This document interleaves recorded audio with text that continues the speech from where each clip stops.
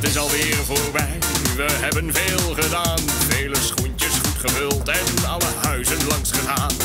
Maar het grote feest is weer achter de rug.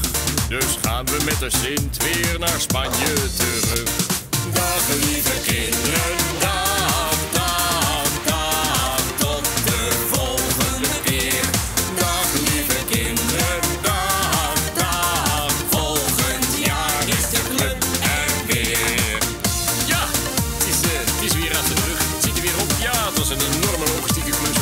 weer natuurlijk. Maar ik heb het graag gedaan natuurlijk. Hè.